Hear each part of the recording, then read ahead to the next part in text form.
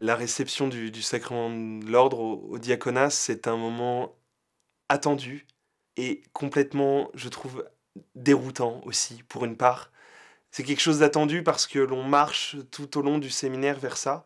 Et quand euh, je suis appelé, quand on me dit Adrien, ton évêque t'appelle, eh bien, euh, il y a une sorte de, à la fois de soulagement et de grande joie qui nous fait relire d'ailleurs toutes ces années de séminaire, tous ces moments où ça a été plus dur, tous ces moments où on s'est posé des questions, tous ces moments de joie.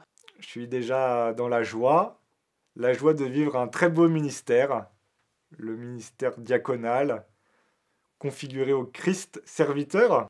À Rome, là où je, fais mes études, je suis lié à une, paroisse euh, qui déploie beaucoup l'accueil des pauvres, des gens démunis, euh, en faisant des tables ouvertes, etc. Donc euh, c'est un vrai lieu de service diaconal où, je m'en saisis cette année un, peu différemment des années passées où j'étais séminariste. L'expérience en paroisse a changé pour moi surtout le, peu de choses, mais le fait de pouvoir rencontrer un prêtre, d'être accompagné par un prêtre en particulier, ça a changé beaucoup de choses pour moi parce que on peut se projeter sur le terrain, sur quelqu'un, sur une façon de travailler, une façon d'être prêtre eh ben, je découvre une, une, proximité euh, avec les plus pauvres. une vraie joie être une présence gratuite auprès des gens. Quand on m'a dit que j'allais à Trappes, j'étais super content. C'est-à-dire que partir pour un an, un an au moins, euh, être directement euh, dans l'humble service du, de, de, celui qui sait des trucs mais qui ne sait rien, qui a tout à apprendre. Et le pauvre, c'est pas seulement euh, le gars que je rencontre au secours catholique ou euh, le gars que je rencontre à des, rencontres fraternelles ou euh,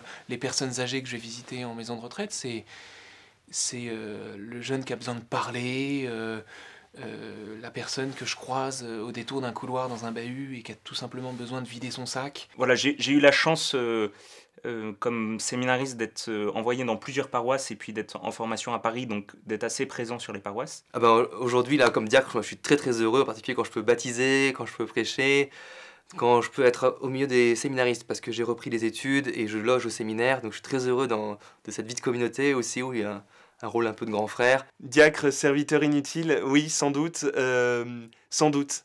c'est au diaconat, on, on donne on donne, en tout cas on remet dans les mains de, notre évêque, dans les mains de Dieu, tout ce que l'on a. Et je pense que les, paroissiens en ont un peu l'intuition qu'on n'est pas là pour leur vendre quoi que ce soit, euh, qu'on n'est pas là non plus pour les juger, euh, mais qu'on est là pour les écouter et pour être euh, simplement à leur côté. Finalement, il n'y a que des gens qui n'ont pas assez entendu parler du Christ. Et à chaque fois, avec un petit temps d'adaptation, j'ai été vraiment heureux dans ces trois paroisses. Alors une fois qu'on est ordonné diacre, euh, on attend le mois de juin. Oui, j'attends l'appel et en même temps, j'aimerais ne pas trop l'anticiper parce que j'ai, comme diacre en vue du sacerdoce, je n'ai qu'un an a priori de diaconat et je voudrais vivre vraiment comme un an de diaconat et pas comme une espèce de euh, passage obligatoire de salle d'attente. Euh, voilà, ce qui n'aurait pas trop de sens. On attend le mois de juin parce que dans, nos études, dans notre prière, dans notre formation, dans notre rapport aux fidèles, euh, l'Eucharistie est quand même une place absolument centrale.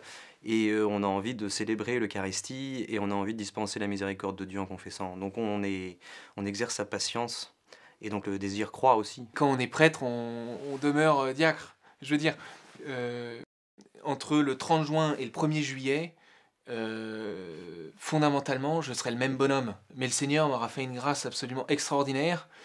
Et euh, je vis déjà au centuple quelque chose d'extraordinaire, mais ce sera euh, le centuple du centuple. Enfin, Et ça, je, je, je le sais.